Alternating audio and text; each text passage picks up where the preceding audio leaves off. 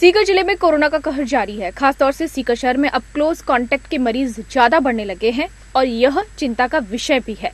Positive आए मरीज़ के परिजन भी इसके दायरे में आ रहे हैं। चिंता का विषय यह है कि सोशल डिस्टेंस और अन्य सरकारी एडवाइजरी का पालन लोग नहीं कर रहे हैं, जिसके चलते पॉजिटिव मरीजों की संख्या में लगातार इजाफा हो रहा है। सीकर ज़िले में कोरोना का रिकॉर्ड लगातार टूट रहा है। गुरुवार को इकसठ नए कोरोना पॉजिटिव के सामने आए हैं। खंडेला ब्लॉक में 22, सीकर शहर में 15, नीमका थाना क्षेत्र में 7, लक्ष्मणगढ़ ब्लॉक में 6, फतेहपुर ब्लॉक में पाँच श्रीमाधोपुर क्षेत्र में तीन दाता में दो और कूदन ब्लॉक में एक नया कोरोना पॉजिटिव के सामने आया है। इनमें से 26 जने क्लोज कांटेक्ट में आने से संक्रमित हुए हैं। वहीं 9 जने प्रवासी हैं जो दूसरे राज्यों से यहाँ पर आए थे। वहीं 12 रैंडम सैंपल और 12 लक्षणात्मक और दो अन्य पॉजिटिव पाए गए हैं। सीएमएचओ डॉक्टर अजय चौधरी ने बताया कि संबंधित क्षेत्र में कंटेनमेंट और बफर जोन बनाकर के कार्रवाई करना शुरू कर दिया है।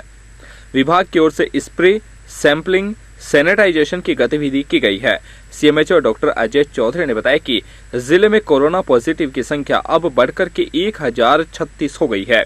इनमें से सात सौ अड़सठ जने स्वस्थ हो चुके हैं, जबकि दो सौ चौवन व्यक्तियों का उपचार चल रहा है।